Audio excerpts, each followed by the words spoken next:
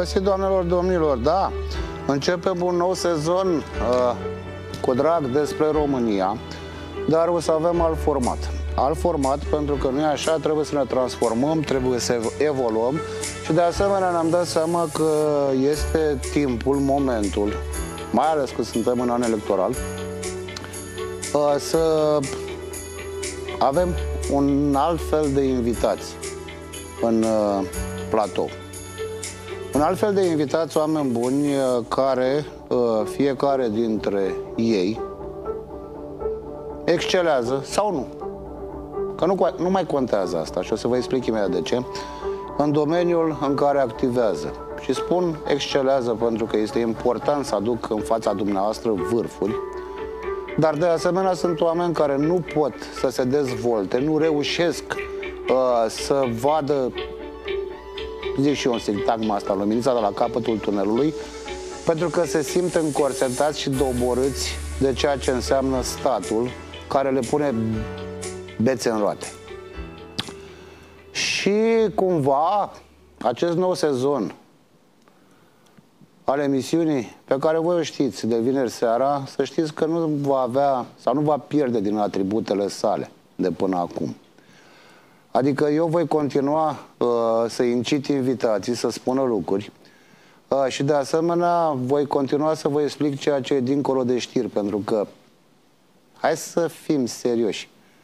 Uh, există o adevărată avalanșă uh, de fake news-uri, de știri de astea inventate, uh, de vorbe spuse pe la colț. Am auzit eu de la cineva care ar avea un verișor, a cărui soție are o nepoată a cărui mătușă în fața blocului a auzit de la o vecină că se întâmplă ceva cu I sau cu Y. Toate lucrurile astea s-au disipat, s-au dus naibii, pur și simplu, la nivelul de informație. Și cumva simt din ce în ce mai apăsat nevoia de a încerca să vă ofer toate resorturile, să vi le arăt, până la urmă, uh, toate motivele care stau la o știre corectă și concretă. Evident că voi încerca în această emisiune, dincolo de ceea ce se întâmplă și pe lucruri pe care nu le putem sări, cum e de exemplu acum protestul fermierilor, ă, să vă arăt și ceea ce oamenii aceștia au reușit să facă, pentru că mulți dintre ei sunt legați de o anumită provincie istorică, de un oraș, de un județ. Ă, și fiecare dintre ei aici vine cumva ă, cu filtrul pe care uh, îl au. Da? Pentru că, o să vedeți, în emisiune, așa cum am gândit-o acum, deși au ca punct comun o regiune istorică, ceea ce fac ei are legătură cu întreaga nație. Dar fiecare vede acea uh, regiune istorică într-un mod personal. Să aflați imediat în emisiunea despre ce este vorba. Dar, de fapt, hai să vi prezint înainte de a intra în ceea ce este absolut important și bă, cumva bă, aproape bă, ca un băzit de ăsta periculos de roi de albine sau roi de viespi aici în România. Se încearcă confiscarea protestelor, acelea spontane ale fermierilor și transportatorilor. Atenție, problemele lor sunt problemele fiecăruia dintre noi.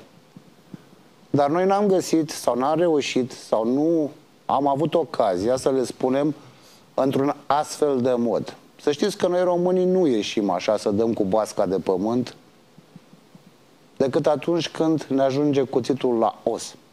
Ei bine, el a ajuns și spuneam că acum cineva încearcă să se suie pe aceste proteste, să le contabilizeze din punct de vedere politic, lucru care nu face decât să adâncească o anumită falie în societatea românească.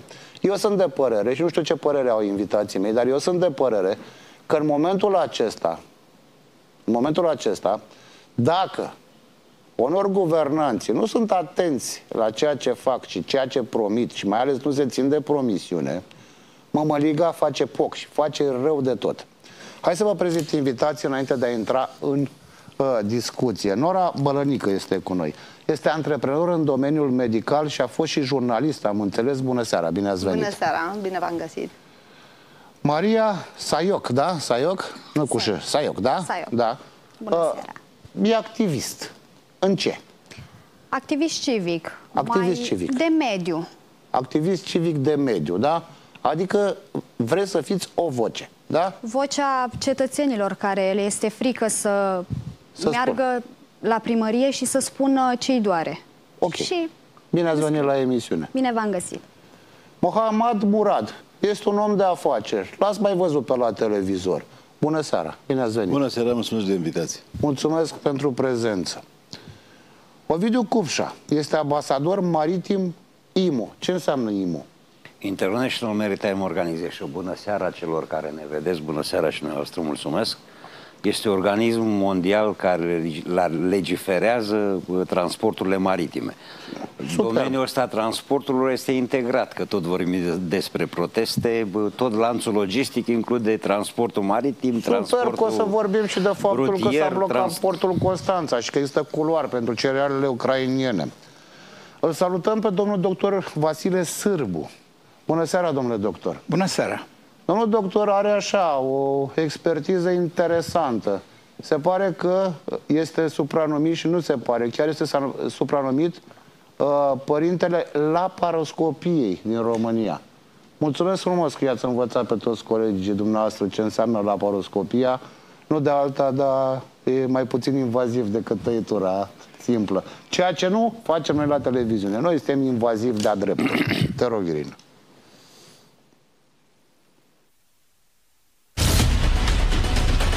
Pentru ei pot bagaje de milioane de euro și noi murim de foame.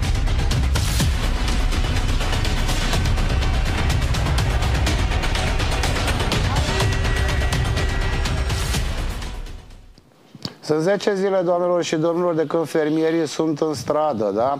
Am fost ieri acolo, în emisiunea Alexandrei Păcuraru, emisiune care toată săptămâna a fost în mijlocul protestatarilor uh, de la Afumați. Ei bine, uh, până atunci comentasem din studio. Uh, și m-am dus în acea emisiune, am stat foarte puțin pentru că trebuia să mă întorc în studio, tocmai pentru a simți ceea ce se întâmplă acolo cu adevărat și credeți-mă uh, că este mult, mult mai apăsat ceea ce s-a întâmplat. Vă spun doar atât. În minutele în care am stat în emisiune, cumva la vreun metru și jumătate de șosea, fiecare mașină care circula ori într-o parte, ori în alta, acolo unde e protestul la fumați, claxona din toate puterile. Claxona din toate puterile, spunând cumva prin acel claxon, da, vă susținem și cumva voi protestați și pentru noi. Dar noi avem un pic de treabă acum, dar vă mulțumim pentru acest lucru.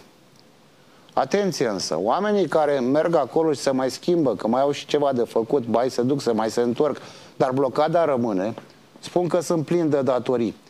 Și că dacă lucrurile nu se vor așeza astfel încât ei să poată să facă plus valoare, fără să se gândească dacă vor avea de unde să pună pâine pe masă, vor rămâne acolo și vor protesta pe termen nelimitat.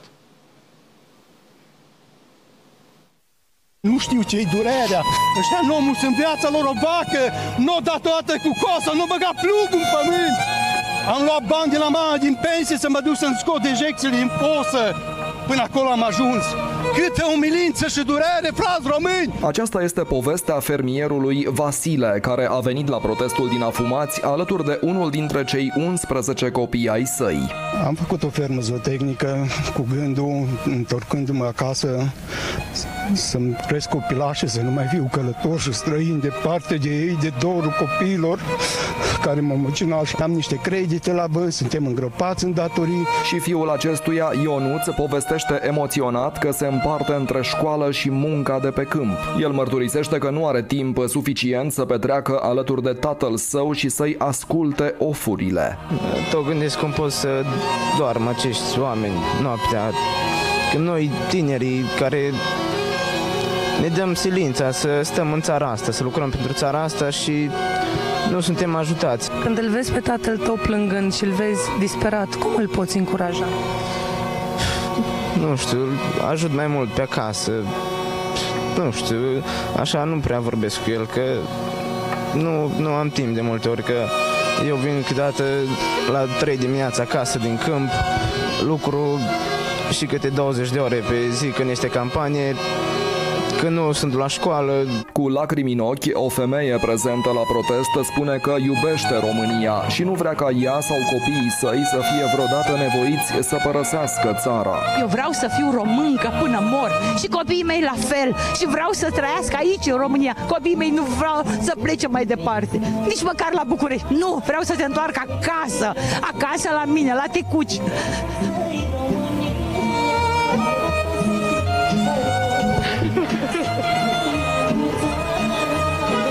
Printre lacrimi și durere, protestatarii nu își pierd speranța și continuă să lupte pentru drepturile lor. Trei fete am acasă și cea mai mică a zis, tati, vin cu tine la protest. Dar nu am cum să o iau să stea cu mine în mașină am o singură durere, că nu au niciun viitor. În ciuda presiunilor politice ce au fost făcute asupra postului nostru de televiziune, noi am continuat să vă arătăm realitatea de aici, din stradă, a oamenilor care muncesc până la 15 ore pe zi și care rămân în continuare aici solidari pentru a-și cere drepturile din partea guvernanților. Sunt drepturi sau ar fi normalitate? Că asta este întrebarea. Dar, atenție, toți cei care sunt prezenți aici în studio au legătură cu ce? Cu Dobrogea, cu Constanța. Da? Și știm foarte bine că una din marele doleanțe ale fermierilor de această dată este aceea uh, ca grânele din Ucraina să nu rămână în România. Ok, am dat diplomatic culoar. Ducă-se. Dar asta nu înseamnă că trebuie să distrugem tot ceea ce înseamnă agricultura românească.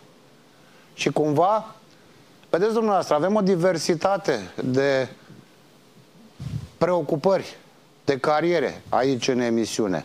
Și cumva e timpul și momentul să discutăm nu cu politicieni, ci să discutăm cu oamenii normali care știu ce înseamnă să plătească taxe și impozite la stat, știu ce înseamnă sănătatea, știu ce înseamnă portul Constanța, știu ce înseamnă, uh, nu așa, să faci o afacere în privat și să încerci, de asemenea, să plătești tot ceea ce ai de plătit și știu ce înseamnă să devii vocea oamenilor. Și aici vreau să vă întreb și încep foarte clar. Spuneți-mi, putem începe oricum, facem un colocviu sau facem ce vreți dumneavoastră, o discuție de prietene aici. Cum vedem uh, tot ceea ce se întâmplă acum în România? Pentru că vin și vă ajut. Problemele acestea nu sunt de astăzi, nu sunt de acum 10 zile de când au intrat ei în stradă. Ce face? Latră câine surd la poartă? Ce se întâmplă? Hai, doamnele întâi, că așa e frumos. Hai, cu curaj. Românii, din păcate, nu sunt auziți sau nu, nu se vrea să fie auziți românul. Și am văzut asta și la protestele din pandemie, dacă ne aducem aminte. Păi cine a protestat în pandemie? Erau ăia care se duceau în față la... Hm, și protestau. La ce? Să ne aud la ce? Că nu avem cu cine să vorbim în România. Fermierii se roagă de guvernanți să-i asculte. Am înțeles că a fost cineva la guvern să vorbească, dar au fost tot oameni de-ai lor. N-au fost românii ăștia din stradă care chiar au nevoie să fie ascultați. Păi au fost și ăștia, au fost și alții. Au semnat memorandum cu alții. Păi cu toate nu, astea, cu ăștia, fermierii dar... nu sunt mulțumiți și sunt în stradă. Păi asta nu Înseamnă că înțeleg nu și a fost persoana potrivită la negocieri. Da, oare nu cumva, și vă întreb acum, oare nu cumva ceea ce se întâmplă acum e o manifestare a unei neputințe? Și vorbesc de ce? Pentru că a apărut, uh, și Mohamed cred că știe, ordonanța aia, trenuleț, da? Aia care a dat peste cap tot ce înseamnă, ba cod fiscal, ba to- toate nebunile posibile și imposibile. Și uh, statul n-a venit cu un buffer de ăsta ca să mai scoată din presiunea mediului privat, pentru că noi vorbim de coloana vertebrală a economiei, noi vorbim de niște oameni care fac niște afaceri prin PFA-uri și prin SRL-uri, fac niște afaceri de subzistență, că ăștia nu-s bogați. Acă vă uitați ca un tractor, păi și-au abanetat și linichii pe care îi iau acum la bănci ca să-și cumpere tractorul ăla fără de care n-au cum să exploateze cele 50 de hectare sau 100 de hectare, că nu poți să ari cu, cu boi. Și cumva lucrurile astea, în statul, în disperarea lui de bani, a făcut o ordonanță absolut cretinoidă care distruge tot și distruge exact ce? Economia asta la nivelul de IMM, ăla care își plătea taxe, impozite. Femei înainte sau... Acum nu mai. Am trecut de asta. Am, trecut? am dat posibilitatea, Bun. Hai gata. să vă spun așa. Eu n-am văzut uh, de 10 zile, urmez cu foarte mare atenție uh, tot ce se întâmplă. Prin urmă, e o problemă care, ca în medicina, e vorba de un diagnostic, domnul doctor. Noi, medicina are cea mai corectă logică. Simptome, da? Care aduce pe pacientul la, la, într-un spital sau la o clinică, medicul caută cât mai multe elemente ca să pună diagno diagnostic, după care un tratament și după aceea, ulterior, cum se simte pacientul sau persoana. În afacere avem nevoie de un prim-ministru doctor în economie, care tratează economie de urgență. Dacă eu n-am văzut o analiză făcută corect și vă spun din păcate că numai un om care condește profund poate să facă o analiză corect. Eu fac două chestii simple. Cred că orice persoană ar înțelege ce se întâmplă cu fermieri. Normal și normal, la desperiția primă fermă din județ, trebuie făcută o analiză de ce a închis așa persoană. Au închis două persoane, trei firme, cinci firme, zece, tot închid. Eu am tras atenție și am spus, doamne, închid firmele. De ce? De ce? Care e motivul? Simplu. Noi suntem într-o zonă care se numește Uniunea Europeană, o piață deschisă cu șanse egale. Cât timp polonezii au subvenții mai mare și cheltuieli mai puțin, mă bate acasă cu prețul. E simplu. Eu dacă primesc și am fost într-o fermă și când mi-a spus persoana că vrea să vândă, zic de ce? Deci vaca mea uh, consumă pe lună 300 de euro și îmi da lapte 250 de euro, valoarea lapte care mi-l da. Pe normal e în pierdere. Ce fac cu ea? O țin? Și atunci aici și am întrebat și m-am interesat, în Polonia situația e alta. Ei dau preț bani mai mulți. E foarte simplu de înțeles că piața e deschisă, iar noi, în România, prim-ministru crede că dacă oferă o șansă unei fermier, că îl ajută. Trebuie să înțeleagă, domnul prim-ministru, și îmi pare rău că nu m-a ascultat fermiere, că i-am spus, hai să dăm o vacă domnul prim-ministru, să ține acasă, să vadă cât cheltuie și cât lapte scoate dacă vinde un litru de lapte cu un leu jumate, dacă poți să o țină și nu pierde salariul care îl are. E simplu. Eu așa aș face, fac o probă directă. Deci domnul prim-ministru este absent total de tot ce înseamnă latura economică. El crede că noi avem mulți bani și dacă ne ia un pic mai mult, o să mai rămânem cu mult. Greșește și vă spun că este cel mai slab prim-ministru care a avut PSD de 90 încoace. Asum acest lucru, îl cunosc pe domnul Marcel Ciolaco, îl respect ca persoană, dar ca, ca mesaj economic, ca tot ce înseamnă partea de siguranță economică a România este zero barat. Mohamed dar nu are, nu are consilier, probabil are consilier pe teme economice și poate vine să-i spună, domnule, asta e bine, asta nu e bine. Acum nu trebuie neapărat un să fie pe ce se bazează? Pe ce se bazează un consilier? Habar n-am, pe vocea și consilier se bazează pe experiență. O persoană care are, domnul doctor, dacă o persoană are 30 de ani, am făcut amândoi medicină, la 30 de ani fără experiență, indiferent cât de pregătit ești, poți să ai aceeași rezultat ca unul de 50-60 de ani. Experiența contează. În consilier fără experiență, care n-a fost în viața lui într-o fermă să mărdească pantoful de 3-400 de euro, credeți că ala e consilier? Ala este o persoană care, prin aranjamentele lor, pun niște consilieri care spune da pe linii. Dacă zici un consilier lui Ciolacu, odată nu, îl da afară. Pe ala nu e consilier. Ce consilier? Eu îl invit pe domnul prim-ministru și stăm de vorbă și arat câți, care sunt subvențiile în Polonia, în Cehia. Noi la ora asta importăm 80% din lapte care consumăm din Polonia, Germania, Spania. 80% spre 85% carne de porc se importă din Spania, în primul rând, Polonia, Germania. Eu întreb, de ce porcul în Germania să crești costă mai puțin decât în România? În 5 minute, dacă mă, mă delega pe mine, eu mă duc în Polonia și vin și acum știu. Și spun, asta este analiza mea. În Germania, kilogram de porc costă 1,80 euro să le crești cu toate subvenții și tot ce trebuie. În România 3 ore jumate, cum să pot să vând eu? Păi stai, și asta ce înseamnă? Că se distruge deliberat? Nu, înseamnă tot așa. Ce înseamnă? mă, Înseamnă mă, mă, altceva, vă spun Păi nu, că s-a Am doi curios. copii, domnul uh, Foarte bine. Putin. Am doi copii și spun așa, tu nu faci nimic la una din ele, fetele. Iar tu ești foarte bună. Lui aia care e foarte bună îi dau în fiecare zi, are acces peste tot. Și bani, și uh, oameni, și și alta o ține acasă, n-ai voie să iasă. Dom'le, șanse egale. Eu, ca polonez, primesc românul dacă mâine pleacă în Polonia și face și ferme în Polonia și el are aceeași condiții ca și polonez. Și atunci o să facă treaba acolo. De ce? Doamne, piața europeană este deschisă.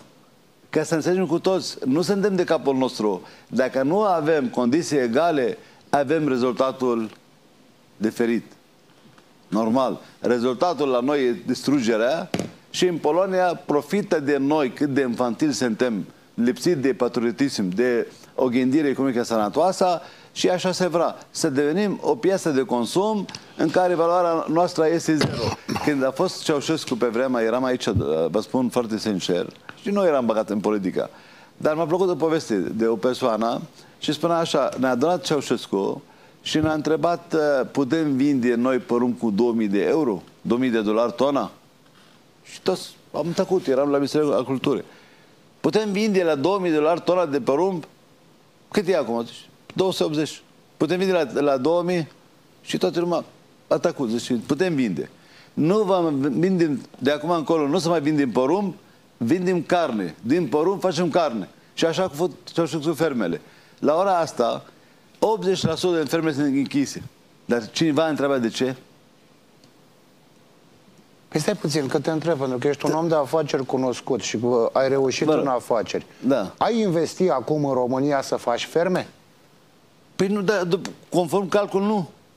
Nu. Păi nu cum să... Nu, Nu, pentru că nu-ți dă voie statul Auziți, sau dacă- nu te ajută statul să ce?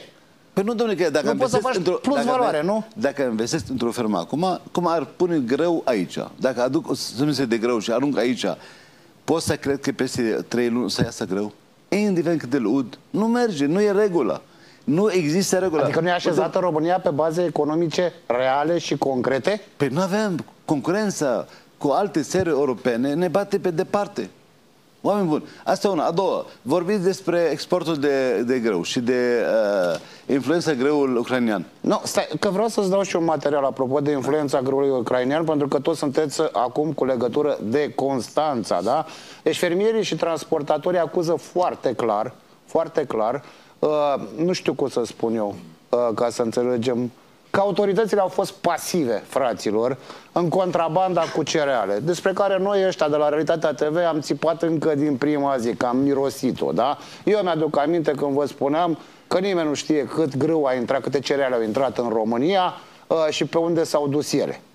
Ba mai mult decât atât, au făcut culoar până în portul Constanța, tirurile ucrainene, beneficiind și de o subvenție puternică la motorină, mergeau rachetă în portul Constanța, iar proștii noștri, da, care ar fi vrut și ei să exporte, Dumnezeule, că aveau contracte, aveau acolo momentul când prețul la bursă era mai mare, proștii noștri stăteau cu cozile de 11 km, pentru că Ucraina mergea rachetă la vapor, ai noștri nu. Da? Acum, recent, ce să vezi? Domnul Ciolacu l-a demis pe șeful vămilor. Da? Că, domnule, ce să vrei? Acolo, gata, că îl demitem pe șeful vămilor, dar a dat-o în droguri, că să vezi, asta cu drogurile a luat, a, a, a luat amploare. Fermierii noștri, protestatari, au încercat să blocheze portul Constanța. Nu știu dacă pe bună dreptate sau nu, dar problema e în continuare la fel. Acum nu mai sunt tiruri care vin din Ucraina, că ținute acolo, la, vama, la vămile din nord. Priviți.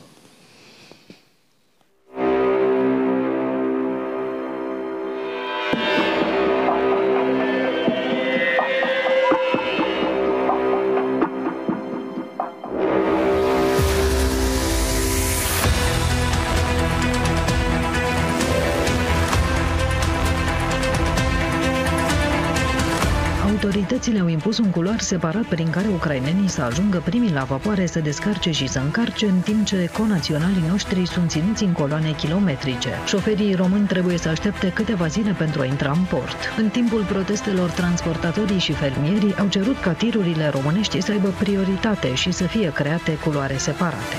Portul Constanța este plin de cereale. Cerealele românilor stau în hâmbare și trezesc. De ce?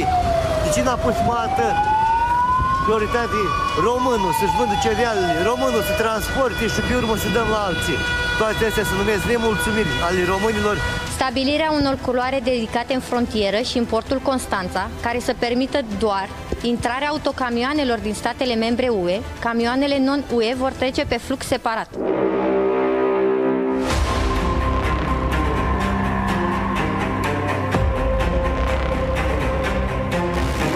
Ba mai mult, recent, premierul l-a demis pe șeful vămilor după ce fermierii au acuzat și lipsa controlelor camioanelor cu cereale din Ucraina. În locul lui a fost numit Marcel Mutescu, fost șef al vămii în 2021. Decizia a fost deja publicată în monitorul oficial.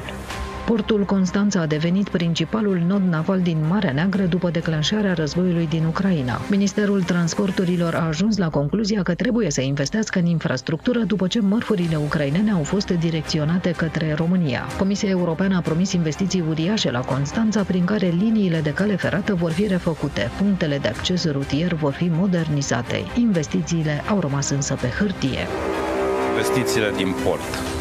Să știți că unul din punctele care n-a funcționat la ritmul la care trebuia e cel legat de atragerea de fonduri europene în anii trecuți. Și nu vreau să dau vina pe nimeni, pentru că nu e o chestiune în care să fie vinovată o singură persoană. Eu cred că acest ritm trebuie să fie schimbat. Transportatorii de la malul mării au blocat mai multe zile accesul în port și acuză administrația că vrea să impună taxe noi celor care intră să încarce și să descarce. Noi, transportatorii de aici, din Port Constanța, avem și o problemă cu portul în sine, cu tot ce înseamnă infrastructura rutieră, care practic este inexistentă sau mai bine zis distrusă. Și pe, și pe lângă toate aceste probleme, anual trebuie să plătim o licență de lucru în zona liberă, care este în jur de 4200 de lei, iar după ce plătim această licență, care nu știm de ce o plătim, mai avem de plătit și o taxă la intrare în port, care este o taxă care se poate plăti în fiecare zi sau se poate face un abonament lunar. Mai nou, terminalul de containere, o problemă de care o să se lovească uh, transportatorii containerizați, va introduce o taxă pentru fiecare camion de 10 euro la fiecare intrare. Totodată, portul Constanța s-a transformat în raiul infractorilor. Potrivit Europol, pachete cu droguri pot să intre în țara noastră foarte ușor. Cosmin Andreica a făcut un experiment în acest sens. Suntem în port, tocmai ce am uh, coborât de pe navă, am vorbit cu niște muncitori și am primit acest pachet. De foarte bună calitate, mi-am asigurat că este ce trebuie, să și vede. În fine, n-are rost. 100.000 de euro un kilogram de cocaină pe piața neagră. Asta înseamnă un gram, 100 de euro în cluburile din București, în uh, locurile în care sunt tineri, în care uh, avem efervescență, cluburi de noapte și mai departe. O să discutăm de portul din Constanța, dar înainte de toate vreau să vă arăt două imagini cumva în oglindă, că noi tot vorbim de faptul că, domnule, ă, ceea ce s-a întâmplat ă, și ne-a afectat direct și vă spun tuturor și domnul doctor să ne spună ă, la un moment dat cât e de periculos. În România au intrat cereale cu pesticide. Conform unui studiu, aproape 4 milioane de tone de cereale din Ucraina n-au mai trecut pe culoarul către portul Constanța, ci au rămas aici în România, la preț de dumping, ceea ce a omorât orice fermier din România. Nu are unde să le pună fermierul din România silozuri, a trebuit să le dea la preț de dumping, tanda pe manda, l-a costat un leu să scoată grâul și l-a dat pe 80 de bani. Asta e afacere bună, Mohamed Murad. Dar uh, vreau să vedeți imagini când a început războiul din Ucraina și veneau refugiații din Ucraina, cum îi așteptau ai noștri, românii da. cu ajutoare, i-au luat acasă, țineți minte că i-au luat în casele da, lor, le-au dat apă, mâncare, haine, copii, statul român le-a dat uh, mii de lei pentru aia. Și acum văd numai mașini de lux care se duc. Și de cealaltă parte, în oglindă, apropo, domnule, cum erau certați fermierii din România care protestau împotriva unui lucru absolut evident, da? Și care, ce să vezi, mai aveau un pic și erau zburătăciți de poliție pentru că ce? Da? Convoa imagini în oglindă. Mă, nu cu așa, să cunoașteți, presupun, portul din Constanța. Voi sunteți constanțeni. Portul ăla este cea mai mare intrare în țara care se numește România, da? Și de-a lungul timpului s-a vorbit că îl modernizăm, că îl facem, că îl dregem, că nu știu ce. Tu, și în continuare, acolo există tot felul de semne de întrebare. Dar povestea asta cu tirurile astea românești care nu pot ajunge să descarce marfa, dar culoarul este pentru ucrainieni, uh, cum e? Că spuneți-mi că sunteți de acolo și voi și Domnul pricepeți la Botin, asta. uh, faptul că România are portul Constanța este un avantaj strategic extraordinar. Uh, Apropo de investiții, că vedeam că se vorbea de investiții în portul Constanța, să știți că, din păcate, guvernanții din România au înțeles că au portul Constanța cu adevărat abia când a apărut uh, acest Ucraina. război din Ucraina. Până atunci portul Constanța n-a existat în uh, Sau poate n-a proiectele de existat deliberat. dezvoltare. Stați un pic, că poate n-a existat deliberat. Asta Acolo e vin cu totul foarte și cu multe totul o altă mărfuri. discuție. Hai să nu le controlăm, se strică scannerul de la vamă. Ce ai făcut? Pa, dat la cu spatele, cu camionul și... A, păi până vine să o reparăm și nu mai dăm drumul. Ba da, lăsați așa, că nu mai controlăm. Ce este cert că după acest război, Portul Constanța a devenit principalul hub de import-export a, măr- a mărfurilor ucrainene. Nu vorbim mai de cereale, acum e Nu, greva... regionale. Trans, Ucraina, toate, Moldova, toate mărfurile România, ucrainene în momentul Ungaria. de față uh, trec, uh, trec prin Constanța. Uh, Eu am fost acolo în Ucraina, după începerea războiului. Am pus piciorul la Dana 3 acolo, la importul Odessa, unde au bombardat rușii. Am fost împreună cu secretarul general Imo tocmai pentru a negocia acel grain export deal, dacă știți, de trecerea mărfurilor uh, prin uh, coridoarele maritime, ex, uh, acord pe care nu l-au respectat nici rușii, nici ucrainenii, în fapt. Și de aceea s-a ajuns ca toate mărfurile care erau transportate pe acele coridoare să fie transportate astăzi prin România. Problema nu este că, e trans- că sunt transportate prin România, Uh, problema este că în momentul de față transportatorii români, așa cum ați văzut, așteaptă zile întregi, ceea ce este o mare problemă din punct de vedere al economiei transporturilor. Suntem o țară care nu avem flotă, deși suntem țară maritimă.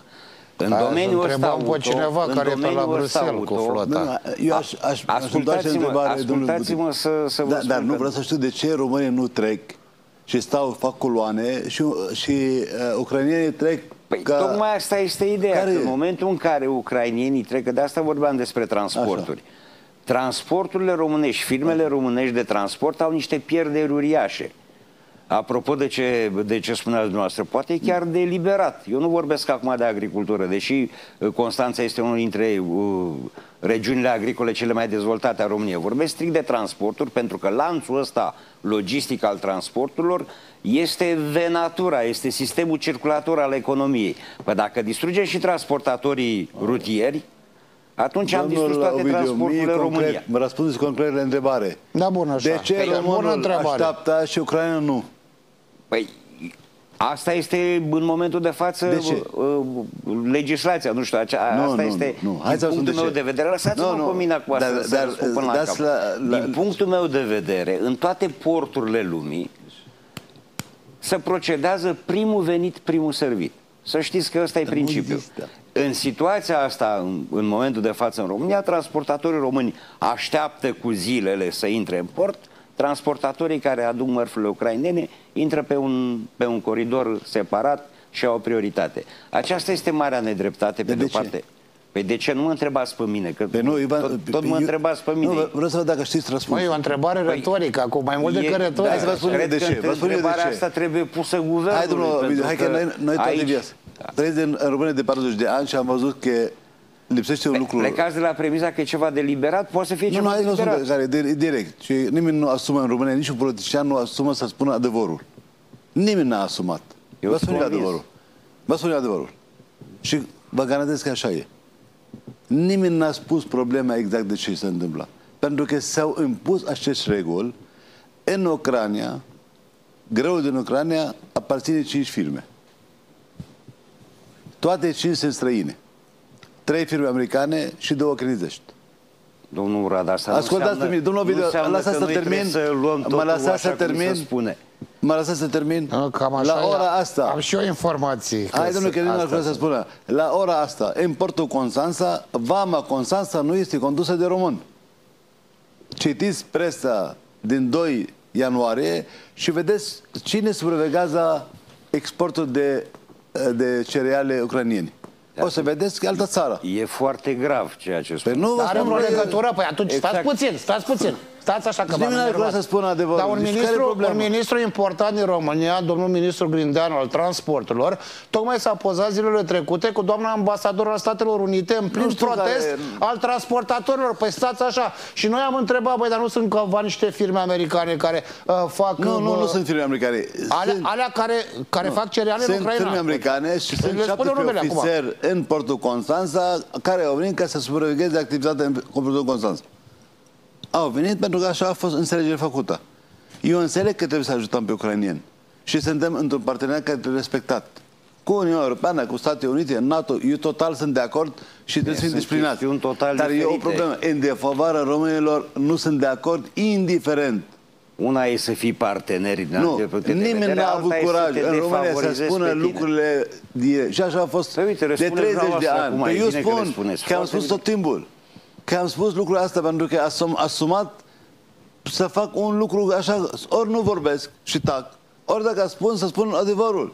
La ora asta, în Constanța, Vama Constanța e supravegată de altă organisme internaționale. Nu noi. Nu Ciolaco, nu Grindeanu, eu vă spun, de ce? Păi așa de sus, pentru că negociam prost tot timpul. Tot timpul am negociat prost. Și în agricultură am negociat, și în, uh, toți, uh, în, uh, în comerț, în orice. Și acum taxam... Am negociat prost sau deliberat?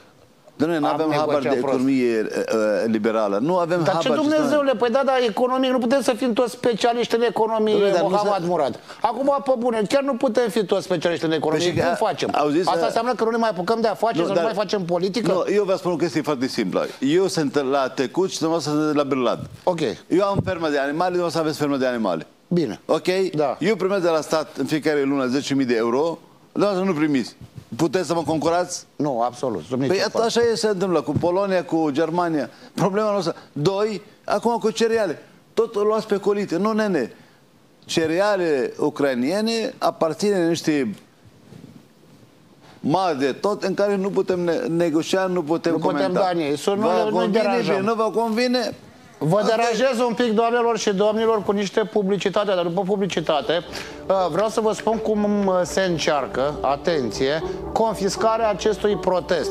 Și invit pe oamenii din studio, domnul doctor, doamnelor, deci hai să comentăm, sigur v-ați uitat la știri, sigur puteți E. vorbi. Vă, vă afectează și pe voi, da? Aveți mașină? Trebuie să plătiți RCA, da? Știți cât e prețul la combustibil? Știți că din toate aceste lucruri, tot ceea ce este aici românesc costă mai mult și cumpărați, știați chestia asta? Cumva ceea ce fac oamenii în stradă fac și pentru mine. Și pentru dumneavoastră, doamnelor, și pentru dumneavoastră, domnilor. Revenim în câteva minute cu cine încearcă să confiște acest protest.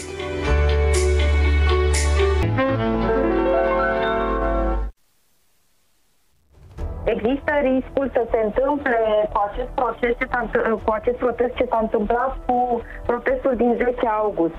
Pentru că oamenii care au vrut atunci să protesteze din diaspora au fost păcăliți și li s-a furat protestul de către alte persoane. E, X același lucru se întâmplă și acum, pentru că așa, așa, acest așa zis protest nu este un protest al fermierilor. Am demonstrat aseară în, uh, în emisiune la mine faptul că cei care au depus cerere pentru acest protest în mod repetat, 12 ianuarie, 14 ianuarie și ultimul acum două zile, sunt de fapt avocații uh, președintelui unui partid, ai doamnei Diana Șoșoacă, Chiar și domnia sa a fost pe prima cerere uh, alături de acești avocați. Mai mult de atât, uh, acești domni avocați sunt implicați în mai multe cazuri controversate. Unul dintre ei este implicat și într-un dosar penal. Din punct de vedere tehnic, prima cerere pe care eu am formulat-o a fost în data de 12 ianuarie. Având în vedere că eram un simplu cetățean și îmi puneam expertiza în și la dispoziția protestatarilor, pentru toate considerentele pentru a avea forță cererea mea, am făcut acea cerere și am trecut-o și pe doamna senator Diana Șoșoacă. Din păcate, din nefericire, În urma chemării în fața comisiei pentru avizarea acestor tip de evenimente, nu s-a putut ajunge la un consens. Formulat o altă cerere. Cu avocatul care a făcut cererea într-o primă fază anul trecut era foarte vătămată. El și cu Silviu Mototolea, controversatul secretar general adjunct al PNL-ului din uh, București, se băteau care să uh, blocheze piața Constituției. În plus, Diana Șoșoacă a făcut scandal și în timpul negocierilor pentru protestul din acest weekend și a amenințat pe reprezentanții jandarmeriei. Prin toate actele pe care le-ați manifestat, ați provocat anarhie la nivel național. Încă primii care vă veți duce în pușcărie veți fi dumneavoastră. În piața Constituției, duminică, luni și marți, va avea loc un protest uh, politic, nu va avea loc un protest al agricultorilor sau transportatorilor. Încercarea de a profita de pe urma unor necazuri concrete și mari ale unor categorii socioprofesionale este de-a dreptul incalificabil. Adică ați înțeles despre ce e vorba? Protestul oamenilor despre care vorbeam în prima parte a emisiunii, acum a primit aprobare de la Nicușor Dancel, care n-a dat aprobare protestatarilor aflați în stradă, inițial. Acum a primit aprobare și se duc ei duminică, luni și marți în piața Constituției. Da, cu trasee, cu la, bă, bă, da, ei trebuie socoteli. Numai că protestul ăsta a fost autorizat și cerut de un avocat care este membru al partidului doamnei Șoșoacă. Atenție! și care, ce să vezi, cu girul doamnei Șoșoacă și-a primit un document frumos, elegant. O să-l arăt, o să-l dau colegilor mei. Așa. Și care, ce să vezi, ar vrea acum să confiște din punct de vedere un uh, protest. Și pe mine uh, deja cumva mă duce la o tară pe care nația asta o are. În momentul în care ceva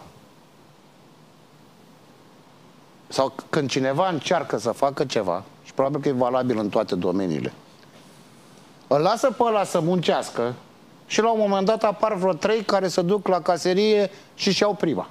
Dar ăla care a muncit se duce acasă și dă cu basca de pământ. Cum sună asta, doamna șef? Uh, același lucru, voiam, chiar voiam să vorbesc despre treaba asta, s-a întâmplat și în Constanța. Am participat și eu uh, primele trei zile la protestele din Constanța. Uh, a treia zi sau a patra, nu vreau să mint, uh, văzusem un clip în care a venit uh, domnul George Simion și a fost gonit de către un protestatar. Culmea, pe acel protestatar eu îl cunosc și este chiar fostul meu vecin. Eu fac parte din grupurile de WhatsApp de proteste din Constanța. După ce l-a gonit pe domnul George Simion, stătea și încerca să-i convingă pe ceilalți protestatari să o cheme pe doamna Șoșoacă, la Constanța să le conteste amenziile. Uh, el spunea că a vorbit cu doamna Șoșoacă și doamna Șoșoacă a spus că nu se va amesteca politic și nici nu va spune că îi va ajuta pe protestatari să-și, uh, să-și uh, conteste amenziile. Cu toate astea, aseară pe TikTok făcea un live și se lăuda că ea ajută protestatarii din Constanța. Eu am preferat să nu mai merg la protestele astea pentru că mi-am dat seama că nu nu e protestul fermierilor. Sau a fost la început, la și început. S-a încercat chiar a și s-a încercat confiscarea, exact. Și atunci doamna Șoșoacă îi ajută pe oameni, după care vine și culege roadele și zice eu i-am ajutat, uh, eu am făcut. Și oamenii care au stat în frig, am stat prima zi la minus 5 grade, 6 ore am stat cu oamenii ăia. Da. E ceva care se întâmplă în România.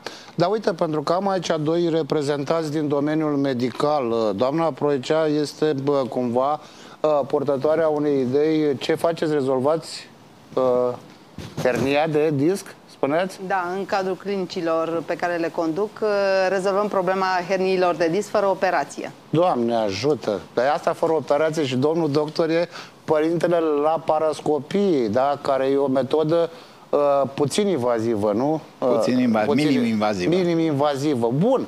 Păi știți cum e? Nu o să vă întreb cum v-a trecut prin cap asta cu laparoscopia și dumneavoastră asta cu hernia de disc. Cine e interesat să vă caute. Dar să vă, am să vă întreb altceva. Tot în aceste zile sunt alte proteste. Și aici vorbim de protestele din sistemul sanitar. Și aici vorbim clar de cei cu care lucrați, da? Uh, de colaboratorii dumneavoastră, de colegii dumneavoastră și vorbesc și de medici și de asistente și de medici de familie și de astea. Cum vedeți toată povestea asta din sistemul sanitar, care, sistem sanitar în momentul de față, uh, dincolo de faptul că este subfinanțat, iată, are și aceste probleme de salarizare. Domnul doctor.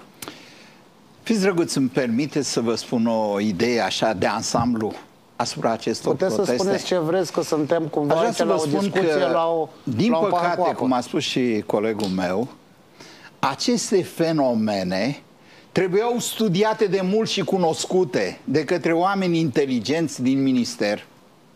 Noi acum venim cu tratamente paliative, cum se zice în medicină, nu cu etiologice, să înlăturăm cauzele. Acestea s-au cumulat în timp. Ce m-a deranjat? Pentru că mă așteptam ca eșalonul 2 din ministere, nu miniștrii care sunt politic numiți. Eșalonul 2, mințile, care sper că se mai păstrează în ministerele din România. Cei care gândesc și care cunosc.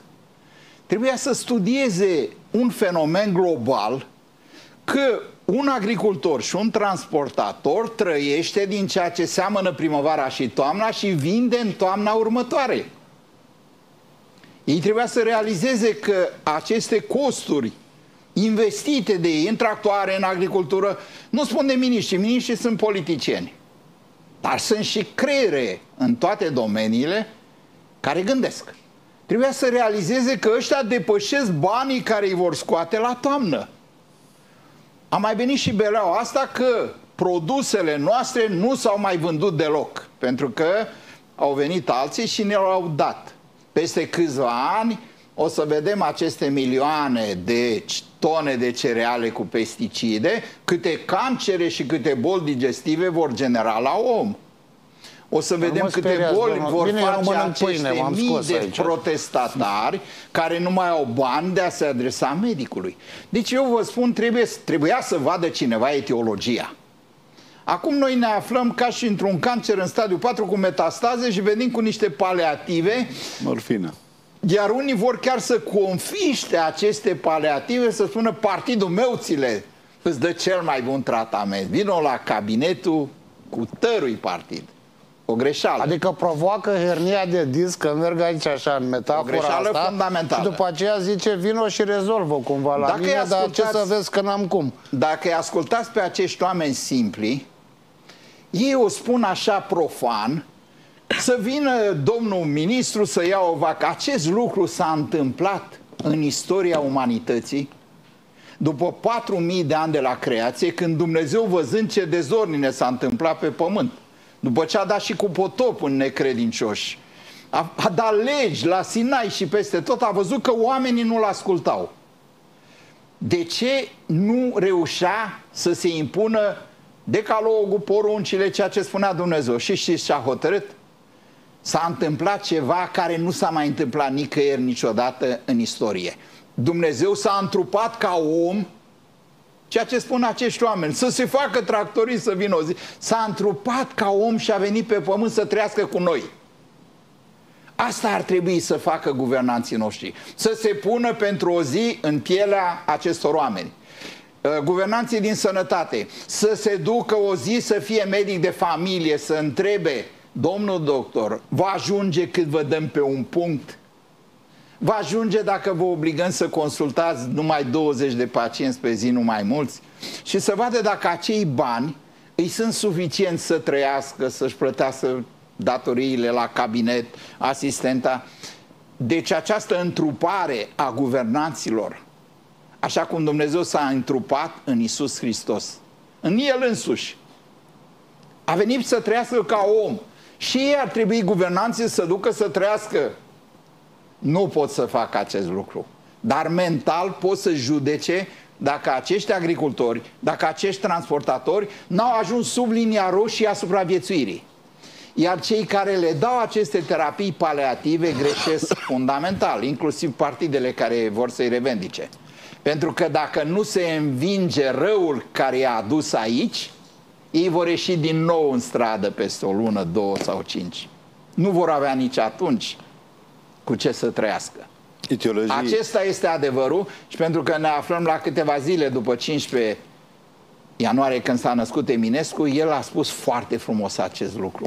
Ah, atunci mi se pare că pe cap îmi cade cerul. Unde voi găsi cuvântul ce exprimă adevărul? Îl găsește domnul prim-ministru, domnul ministru al agriculturii, al transport. Unde găsesc ei cuvântul ce exprimă adevărul? Acești oameni îl spun prozaic. Să-și le dăm o vacă, să le dăm un tractor. Iar acest conflict nu va putea fi confiscat de nimeni. Eu vă spun ca medic, etiologia lui este neputința acestor oameni de a trăi. Nu-i poți confisca că le mai dai un râs, schimb pe șeful de la vămi sau nu știu cine. Domnul doctor, ar trebui să ridicăm aici, pentru că tot ne aflăm la această emisiune, da. și problema medicilor din România, care uh, consider că nedreptatea care s-a făcut, mai ales pentru medicii de, de familie. familie, fără să fie întrebați, uh, într-adevăr, dacă le ajung acei bani, pentru că, nu întâmplător, aș putea să numesc, poate e mult spus, dar o gafă politică, pentru că, într-adevăr, trebuiau să fie întrebați consilieri înainte de a se spune că medicilor de familie uh, nu ar trebui să li se dea cei 10.000 de euro, neștiindu-se, sau populația, probabil nu știe, că din acei bani se plătește și medicul și asistenta, că sunt foarte multe uh, uh, impozite pe diverse uh, chitanțe care se plătesc, uh, diverse mentenanțe, pentru că avem atât de multe mentenanțe în uh, domeniul medical, pe care foarte puțin nu știu. Medicul are malpraxis, asistenta are malpraxis. Sunt foarte multe costuri a acelor uh, cabinete, toată lumea vede și chiar și pacientul care vine atunci când este consultat, nu vede decât uh, sumele de bani care circulă, dar nu se văd cheltuielile care într-adevăr există, la fel ca și cei din domeniul, din agricultură și peste tot, Toate nu mai vorbim și de inflație. Eu consider, de ce am considerat o gafă? Pentru că, imaginați-vă, că acei uh, medici de familie sunt la nivelul întregii țări. Toată lumea are medic de familie. Păi numai dacă se duce cineva la el în cabinet și vorbește, uite ce mi-a făcut, mi-a tăiat așa, vorbești de rău toți medicii, ajunge la toată populația României campania electorală negativă pe care un medic uh, de familie poate să-l facă uh, este... Bun. Uh, o să vorbim cu unul din fermierii care tot se rulează pe la proteste. Este unul dintre cei care a blocat accesul tirurilor din Ucraina într-o vamă din nordul țării. Iulian Siminic este cu noi prin telefon. Bună seara, domnule Siminic. Bună seara. Bună seara. Sunteți la odihnă acum, sunt alți colegi, da, la blocadă, da. nu? Domnul da, Siminic, da, se tot vehiculează da, în spațiul public, se tot semnează tot felul de acte pe la Ministerul Agriculturii, se anunță triumfalist că vă dă, dar nu vă ia, că vă duce, că vă dă nu știu ce și iar vă ia. Cum vedeți dumneavoastră cei de acolo, din nord, ceea ce s-a întâmplat la București vis-a-vis -vis de protestul dumneavoastră? Și ce veți face de acum încolo? Una din revendicările noastre, știți prea bine, cu categoria B și cu dispariția cărții de identitate și cu cea a rarului și cu ITP-ul, dacă vă, da, vă uitați, s-a semnat un proces verbal la, de către Ministrul Agriculturii, dar după câte vedeți, s-a semnat doar pentru categoria B și este proces verbal semnat la punctul 7. Uitați-vă că acolo este specificat la punctul 7, categoria B, și eliminarea ITP-ului la tractoare și matricularea doar la, la primării, să nu mai depindem de rar. Iar uh, domnul ministru și domnul prim-ministru au văzut că au venit că rarul să vină la poarta fermei. Eu înțeleg că rarul să vină la poarta fermei, dar rarul ăla ca să vină la orice fermier care săracul are 10 hectare și are un, un, uh, un tractor ca să lucreze pământul care îl are moștenire, um, ca să deplaseze rarul la 100 de kilometri în fiecare an, îi cere cel puțin 2500 de lei ca să deplaseze la el. Și eu nu găsesc logica normală că dacă fermierul merge pe câmp, îi trebuie carte de identitate și ITP. Doar nu, sunt tractoare care vechi, care fermierul mic lucrează terenul lui, care se duce săracul pe drumurile comunale, nici de cum.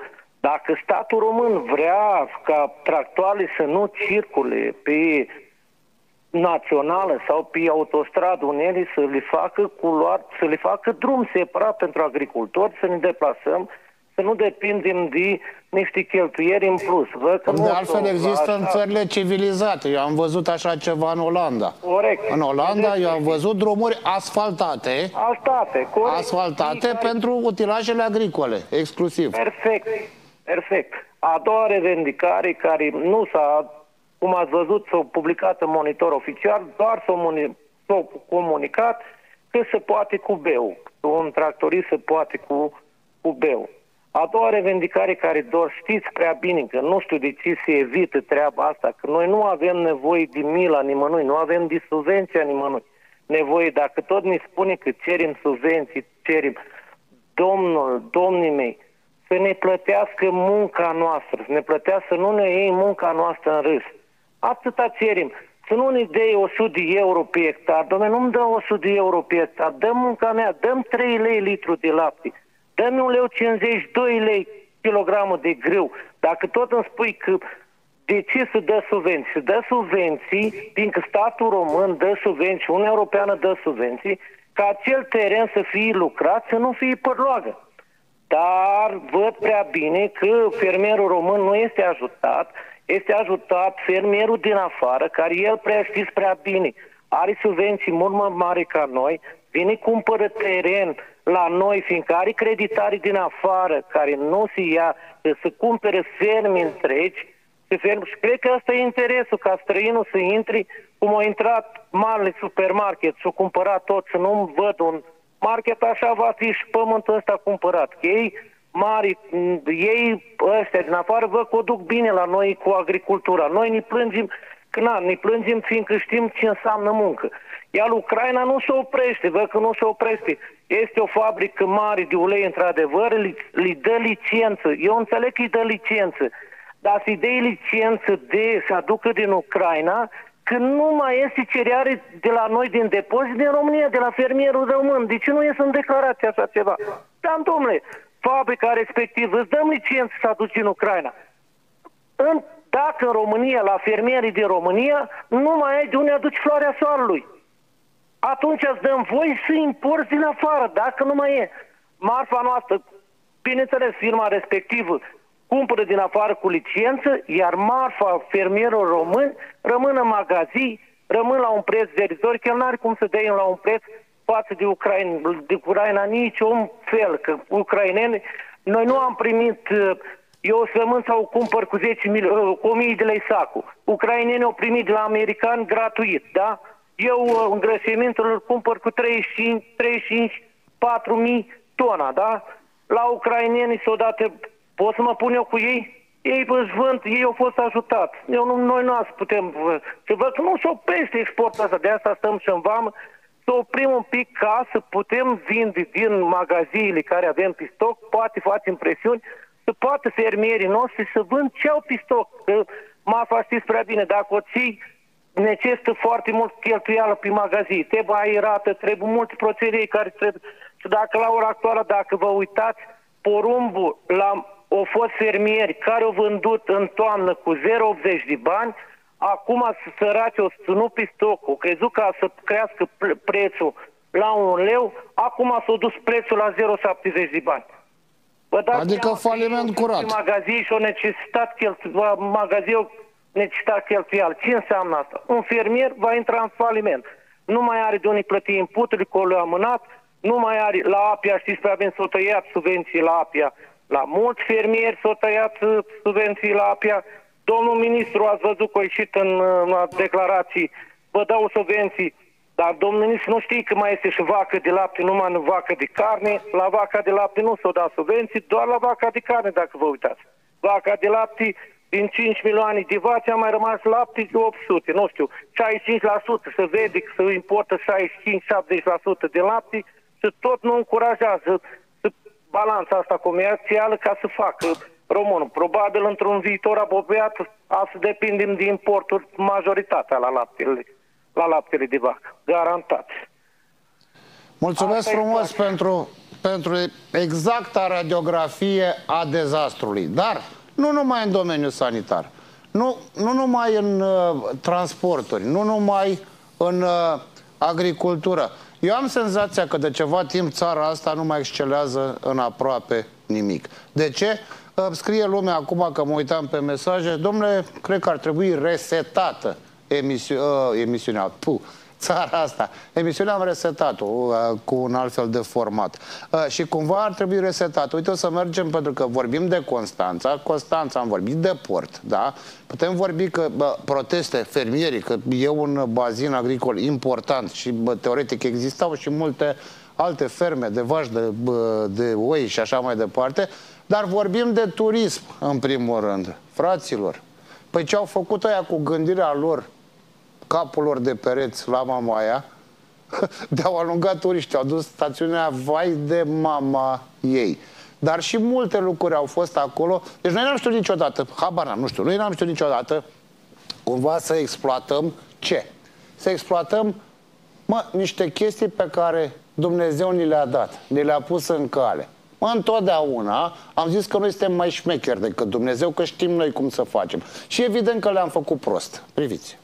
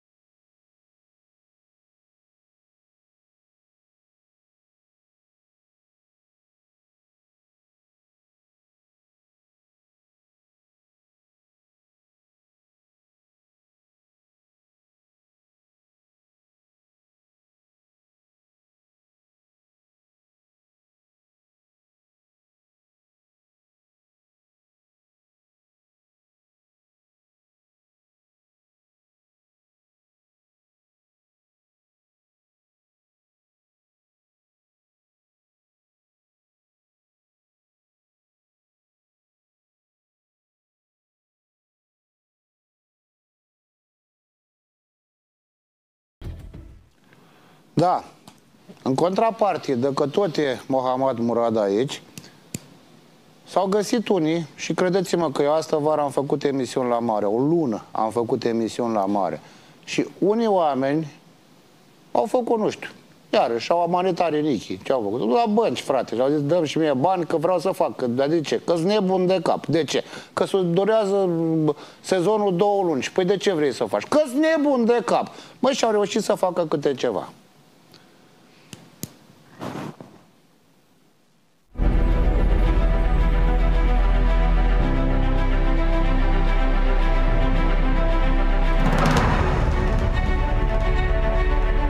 Mohamed Murad este unul dintre cei mai cunoscuți și respectați oameni de afaceri din România. De origine libaneză a venit în țara noastră pentru a face medicina, însă a intrat în turism după ce a preluat mai multe hoteluri cu tradiție de la malul mării. În anii 2000 s-a lansat pe piața imobiliară. Pentru că a câștigat respectul și aprecierea colegilor de Brazlă, în 2011 a devenit președinte al Federației Patronatelor din Turism, în cadrul căreia sunt peste 40.000 de membri și deține peste 80% din cifra de afaceri din turism turism.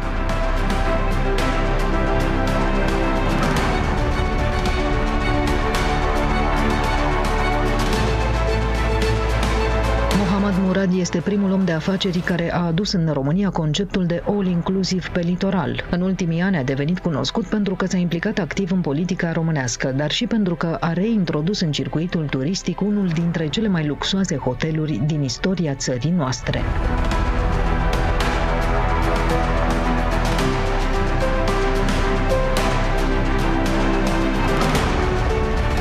Complexul din stațiunea Olimp, denumit în trecut Perla litoralului românesc, a trecut printr-o renovare de 50 de milioane de euro și dispune de 3000 de locuri de cazare. Se află pe o porțiune de plajă care formează un golf și oferă o priveliște spectaculoasă către Marea Neagră.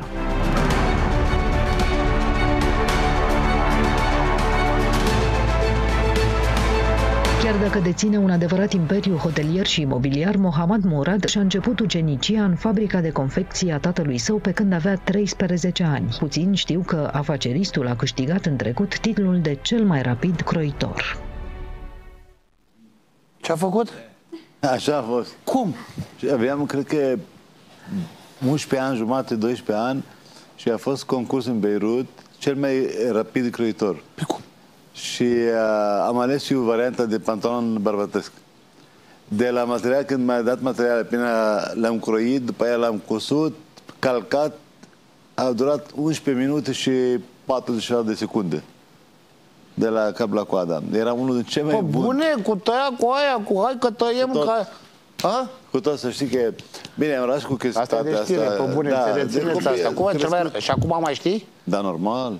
Pe bune. Deci dacă, mă rog, dacă hai să facem, nu facem, vrei, facem într-o emisiune chestia asta, te aduc masă de aia de croit, de asta, de asta, faci pantaloni. Am, am ce-mi trebuie. Faci? Dacă vreți, Bine, acum nu mai faci să fac, acum nu mai fac în 11 minute, dar fac în 20 minute sigur.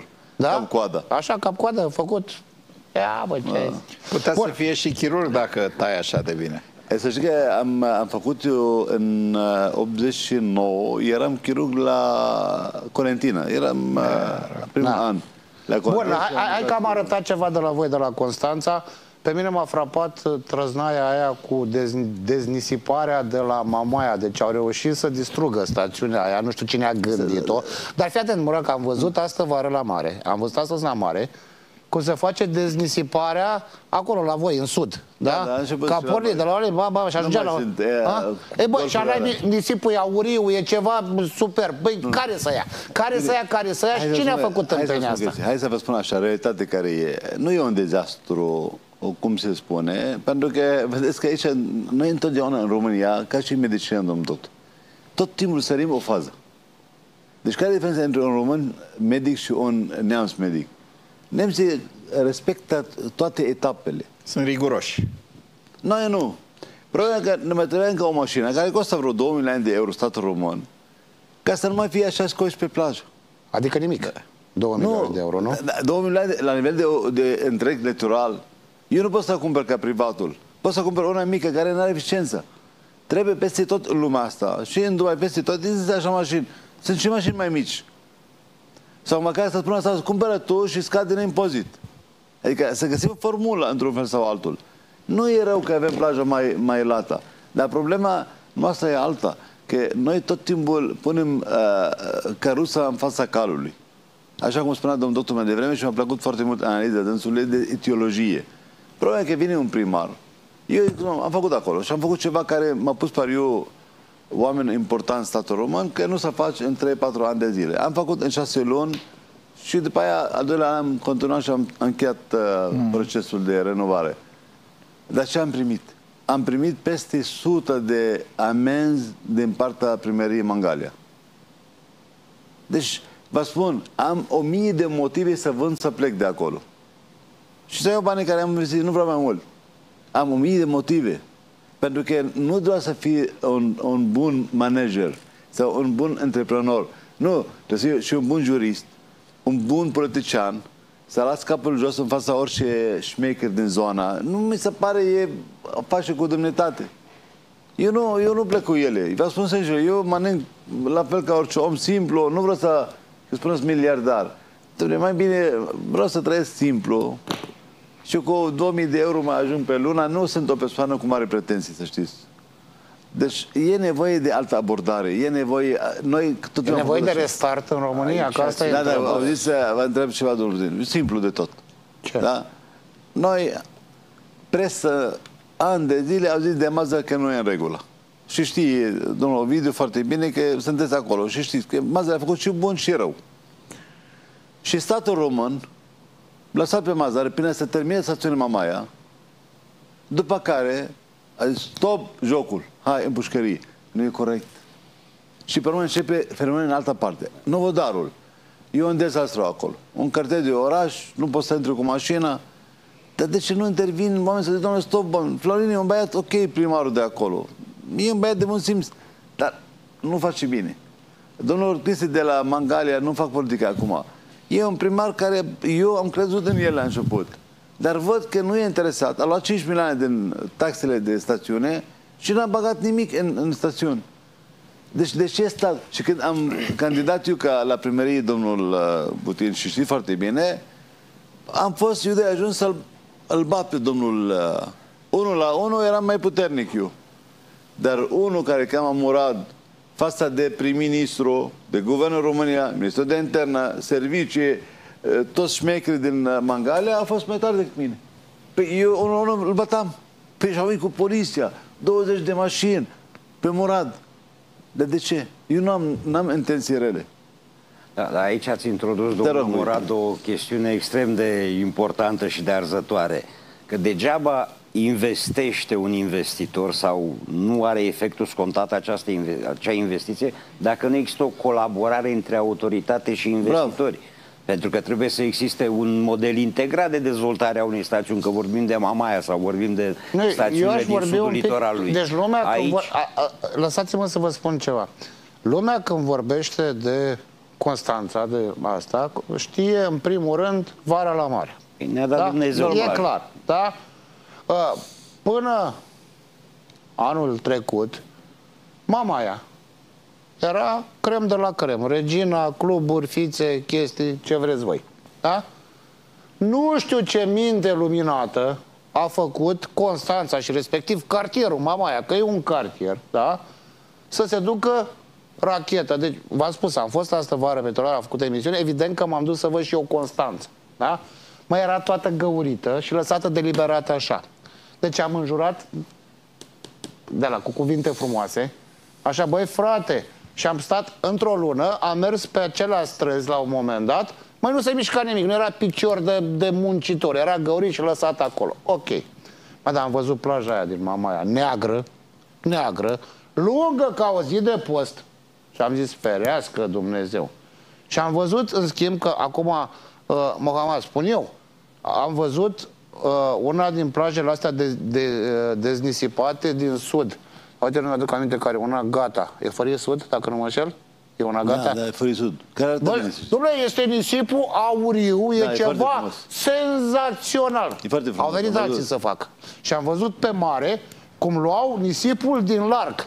Cum trăgeau zi utilajele. Da, dar... Bă, altfel, altfel. Nu, dar da, în avantajul și al tău și altora acolo, dacă ai nisipul aur. Dar vin și vă întreb așa, domnule, noi ca stat, că acum mergem la nivelul ăsta mare, mă, de ce nu avem o strategie integrată, bine pusă la punct, în turism, în medicină, în uh, agricultură, în uh, transporturi, în ce vreți voi? De ce nu avem Noi nu avem un proiect de țară în nimic. Păi dați, vin eu cu o soluție aici. Bun, hai cu o soluție, de la sunt patronatul curios. antreprenorilor din domeniul medical. Așa. Uh, iar domnul Murad este de la patronatul uh, din, uh, din turism și chiar uh, ar fi, cred că singura, nu, printre puținele soluții sau printre multele soluții la problemele acestei țări este uh, dialogul între patronate, sindicate și guvern.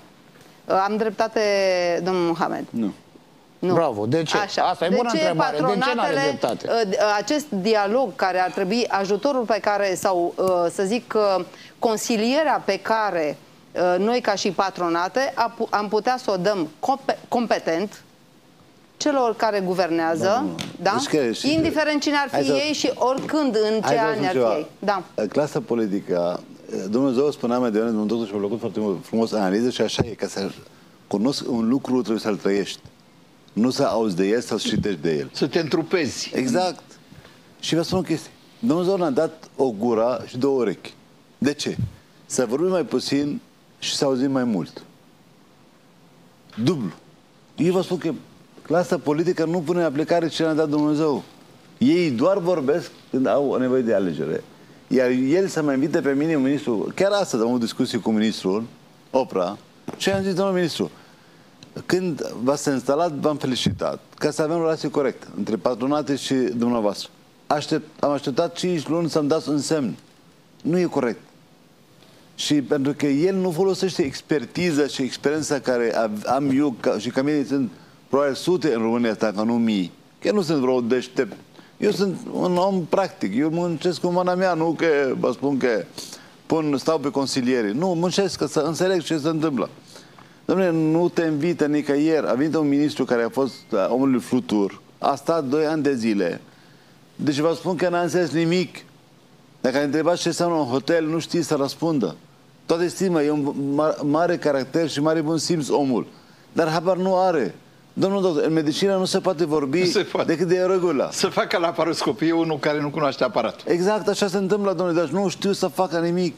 Ei vin și Așa e. vorbesc, ajung acolo, fac spectacol. De aceea vin și vorbesc de Pentru că, și de consiliere. ce? Orice ministru are singura miză. Două. Și trebuie să schimbăm asta, oameni buni. Prima, să mulțumesc ca șefului pe linie de partid că să lase ministru și a doua, să aibă relație cu un ambasador de, cu mare influență ca să-l susțină. E, nu mai merge, nene. Nu merge, oameni buni. Nu se poate schimba ceva cu... Așa se la domnul video. Eu am zis mai că- mult decât atât, dumneavoastră da. spuneți de politica la nivel uh, Local. național. Da, gând, eu vreau să vorbesc și de politica la nivel local. Local. Pentru că Nu, că sunteți local e acolo important. în acele stațiuni. Dialog cu primari aveți? Că cred că nici cu primarii nu aveți dialog. Eu văd ce se întâmplă în stațiunea Mamaia în momentul de față. Deci cu ce să... Dincolo de faptul că există acele investiții, pentru că sunt investitori care au uh, investit milioane multe în hoteluri, în resorturi, în momentul de față este cea mai mare stațiune din România. Dacă te duci pe ceea ce ține de domeniul public, parcări, spații verzi, uh, integrarea urbanistică, pentru că de asta vorbim, omul când se duce, nu se duce doar să stea în hotel, trebuie să vadă și un peisaj adecvat, să poată să facă și altceva, să se simtă bine și afară, nu numai înăuntru. E, în momentul în care te duci în zona administrată de administrația publică, de primărie, de Consiliul Local în speță, este dezastru. De, de asta spun că aici trebuie de o ce nu politică candidați, domnul Ovidiu, integrată că- în care să fie inclusiv primarii interesați. Dar vă întreb că spuneați de Mazăre la un moment dat. De câte ori ați văzut în ultimii 8 ani de zile un primar de Constanța plimbându-se prin Mamaia în timpul... Hai să vă spun o chestie. Să, să se uite. Hai nu să vă să- spun o chestie corectă. Eu sunt un om care asum. Eu în, 2000, în 2020, foarte e interesant uh, subiectul, că am mai spus, cred că la realitate, am vrut să candidez la primărie Constanța. Și am primit o sugestie din partea unei prieteni care cred în el, că las nu e ok. Că trebuie să iasă domnul Virgil. Exact. Persoana, pentru mine e o persoană care are tot respectul meu și are și putere în afară de respect. Am anunțat că m-a retrag din Constanța. Și atunci am primit un telefon de la domnul Chisac care m-a mulțumit că m-a retras. Deci, oameni buni, deci nu se fac lucrurile astea. Nu e corect. Păi și, asta e a, și țara- a zis, sper, sper să putem comunica și după ce sunteți primar. Că aveți nevoie de, nu de, doar de mine, de mulți alți care activează în turism. Aveți nevoie de expertiză și experiența noastră. Eu vă stau la dispoziție oricând vă puteți suna, vin unde sunteți, pentru că interesul este comun a litoralului românesc. Mohamed Murad, întrebare. Dacă acum, de exemplu, da, băi, uite, de succes, turism, chestii, băi, mâine ești ministrul turismului. Ce-i face? Că sunt foarte curios acum. Ai venit peste șase luni să spui sistemul m-a învins? Pentru că nu există uh, noi vorbeam ceva mai de... Ba, există așa ceva, nu, de resetare. Exista... Știi că sistemul are, are o reziliență, nu, așa, știi? Dai în el, dar vine nu, înapoi, nu, așa, există, ca și cum dai cu capul de peretre de cauciuc. În, în, aici, în mijloc, și între noi, și în noi, e un fenomen care se numește fenomenul cele două persoane într-o persoană. O persoană se numește frica și una curaj. Și aici cine câștigă din cele două persoane? Eu vă spun, România, din păcate, avem, suntem, avem probleme cu curajul. Și să spun că mă duc la minister, dacă, e, dacă mă duc, fac o discuție constructivă, dacă mă, sunt la stat să fac, asum. Eu în Constanța, într-un moment, am spus un lucru. Eu sunt om de afacere. Am, fac o mie de greșeli pe lună, sunt convins. Dar într-o zi am zis la realitate că șeful mafiei pe Constanța e Cotarica. Și unul care, că n mai... Uh, am vorbit pe, deci pe justiție, pe procuror, direct. Am asumat chestia asta. Și nu am fost deranjat. Și nu va fi deranjat, pentru că asum și mai mult. În viață avem nevoie de bărbați, să știți. Avem nevoie de oameni care să știu că interesul României e mai presus decât orice alt interes. Și de, de exemplu, Ovidiu are, eu, eu, eu, am avut discuții cu Ovidiu, nu, nu ne cunoaștem de mult, uh, dar nu de puțin. Și am zis, dacă te duci la primire Constanța, eu personal te susțin. De ce? Ai un lucru care, ai multe defecte, dar ai un lucru important. Are ai, ai bun simț și caracter. Bun. Și asta e lucru. Și apropo de Constanța, una din perele Constanței e celebrul casino. Eu cred că, nu știu, la un moment dat m-am gândit, apropo de curaj de care vorbea Mohamed Murad, m-am gândit că acel casino trebuia transformat chiar în casino, declara free tax acolo frumos și cred că făceai din Constanța aia raiul uh, tuturor celor care veneau, uh, cine știe de pe unde, să joace sume importante. Dar, a puteai să faci baluri, puteai să faci multe chestii acolo. Măi, se chinuiesc ăștia de ani de zile, frate, de ani de zile se chinuiesc să îl renoveze. Uh, și bineînțeles că au băgat 50 de milioane de euro în uh, cazinoul ăsta și au zis așa, data începerii lucrărilor 2022, data terminărilor lucrărilor când o da Dumnezeu. Da? Bineînțeles că totul e la 75%, ăla este praf, nu are branșament la curent, nu are branșament la apă. De ce? Pentru că asta este România, frate. Știți cum e? Îmi scria cineva mai înainte. Suntem specialiști la tăiat curbele. Ia priviți cazinoul.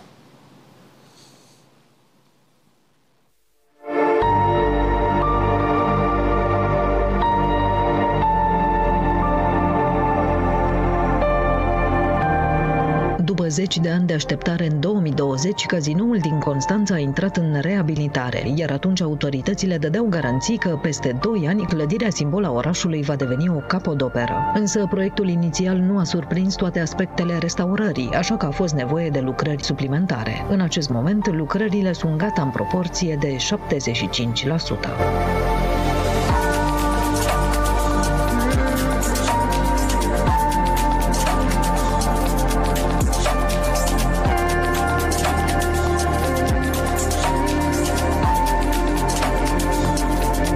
Lucrările să fie gata la începutul acestei veri, muncitorii lucrează de zor. Specialiștii se ocupă de consolidarea clădirii, iar restauratorii au grijă ca ornamentele să-și recapete forma și strălucirea de odinioară. Elementele de decor prea degradate sunt realizate de la zero. Constanțenii spun că nu sunt deranjați de prelungirea termenului, atât timp cât emblema litoralului românesc nu este lăsată în paragină. Frumos.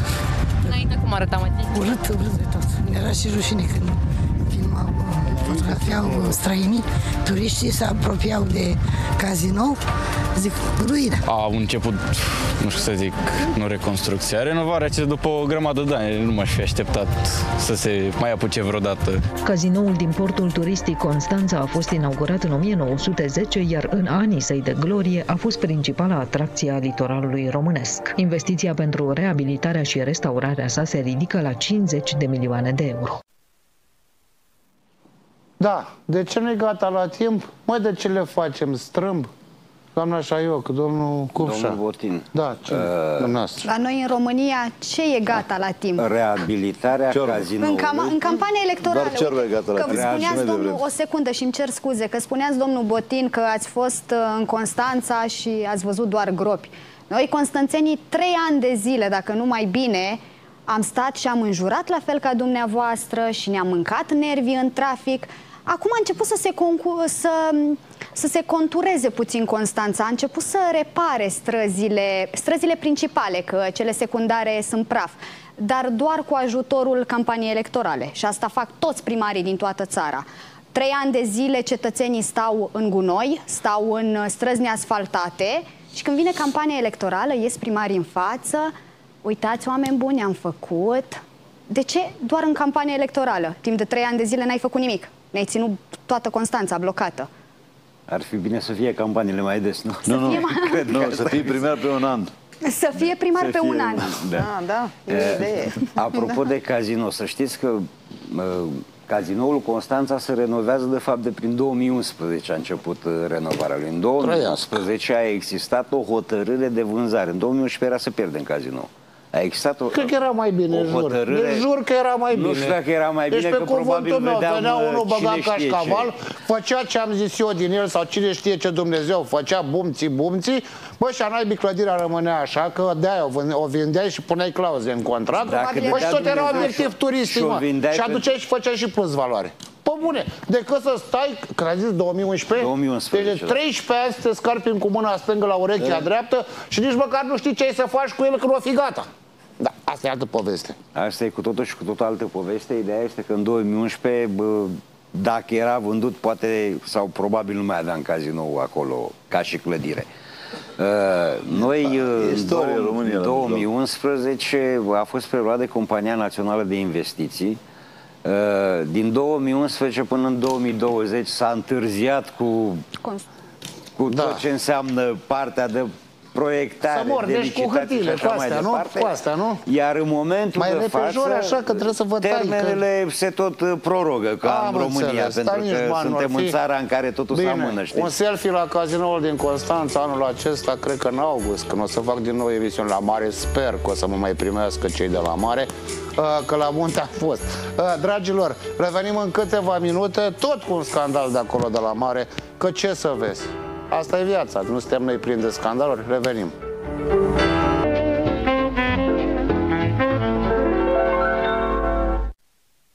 Cumva, doamnelor și domnilor, rămânem în Constanța. De fapt, sigur rămânem în Constanța și o să vorbim despre un dosar care a făcut valuri acolo în zonă.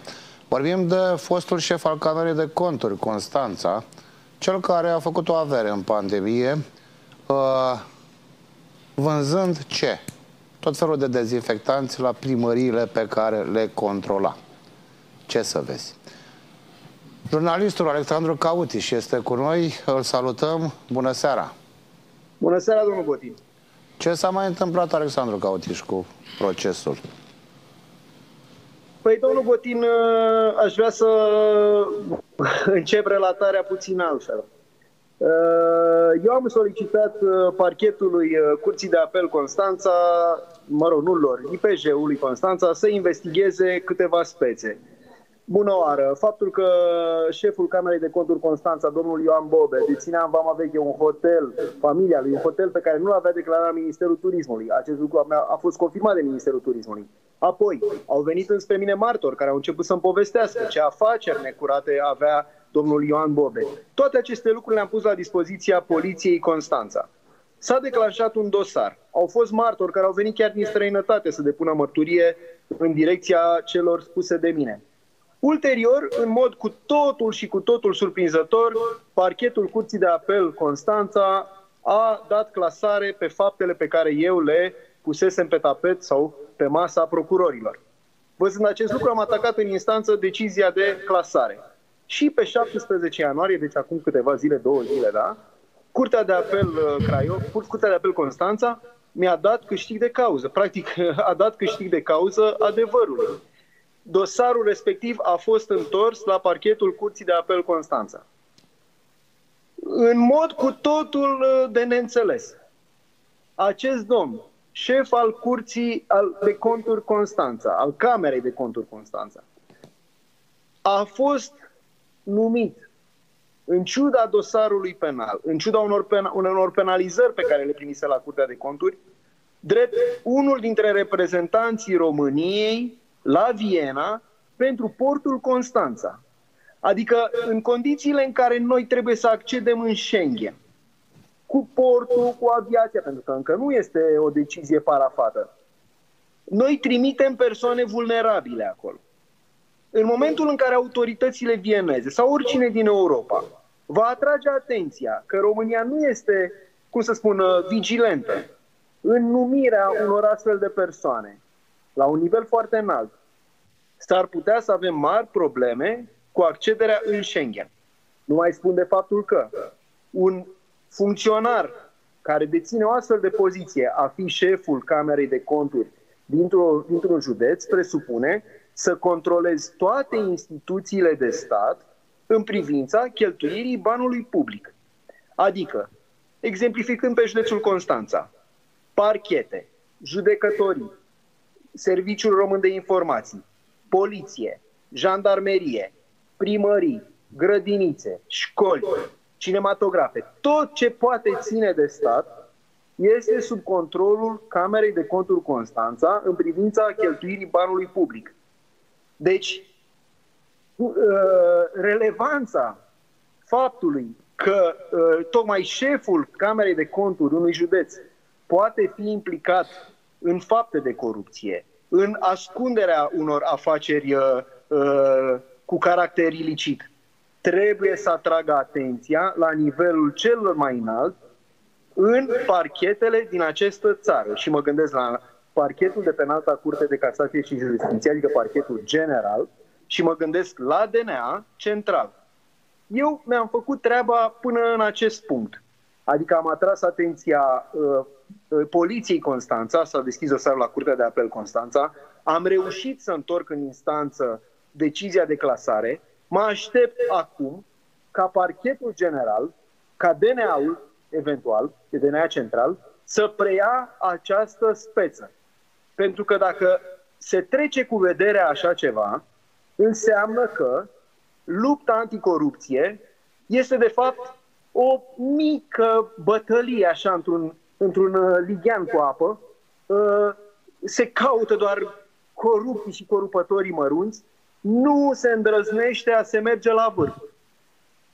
Repet, controlul pe care îl are uh, o cameră de, de conturi într-un județ este cel mai mare control pe care îl poate avea o instituție în acel județ. Înțeleg. Mulțumesc mult, Alexandru Cautiș, pentru detalii. Mai avem exact un minut la dispoziție. Uh, cumva l-a jucat pe domnul doctor să ne pregătească niște versuri din Eminescu, așa ca și o concluzie. Uh, și de altfel v-aș mai spune și altceva. Uh, vă mulțumesc tuturor pentru prezența în emisiune. Noi o să ne mai vedem cu siguranță, pentru că e un început de drag de România într-un alt format, într-un format în care oamenii normal, care de obicei nu vin la televizor, cu excepția lui Mohamed, care a mai apărut pe la televizor, vin și spun așa cum văd ei lucrurile. Da, toate acestea cumva într-un amalgam, într-un... Cum am făcut noi acum? Ca bucătari, știi? Am încercat uh, un, uh, să facem o mâncare care nu e fine dining, uh, dar care, care poate satisface cât mai multe gusturi. Avem, domnul doctor, uh, un vers? Avem versuri, dar aș vrea să spun etiologia necazului, că toți sunt doctori. Hai, ziceți-o pe asta. Ar fi trei cauze etiologice la situația noastră. Prima, că ne conduc alții din afară și fac ce vor cu noi. A doua, că personajele semiologice care constituie trupul administrativ al acestei țări nu sunt de calitate. Și a treia, că o bună parte din aceste personaje care stau în puncte cheie sunt corupții. Mare. Și nu te poți baza, dacă ai aceste trei pârghii care sunt antiromânești, nu putem să așteptăm o vindecare printr-o profilaxie ca să nu mai ajungem la ce avem în stradă, la ce fac medicii de familie, care nu i-a întrebat nimeni dacă cu punctul ăla mai pot trăi. Păi am întrebat eu chiar ieri și mi-au spus că nu. Călim Coci și imediat, doamnelor, domnilor, cu știrile nopții. Călim, bun găsit! Bună seara, Laurențiu! Bine v-am regăsit, doamnelor și domnilor fermierii și transportatorii sunt în stradă chiar și la această oră. Vedem imaginile și informațiile de ultimă oră imediat ce se întâmplă chiar acum în vamă, pentru că granița este blocată. Cine intervine, vedeți de la fix. Avem și mărturile cu tremurătoare făcute de fermierii și transportatorii din stradă. Oamenii sunt la limita disperării și spun că au ajuns la capătul puterilor. Mulți se plâng că au datorii uriașe, că nu li se respectă drepturile și că vor fi nevoiți să părăsească România din cauza traiului precar. Avem și dezvăluiri incendiare, le vedem tot de la ora 23, despre cum Diana Șoșoacă vrea să acapareze protestul fermierilor și transportatorilor, cine a reușit să obțină o autorizație de meeting pentru sute de camioane și tractoare în fața Palatului Parlamentului, care e legătura cu Partidul Senatoarei. Vedeți de la fix la Prime Time News, când vă aștept cu multe alte informații. Laurențiu.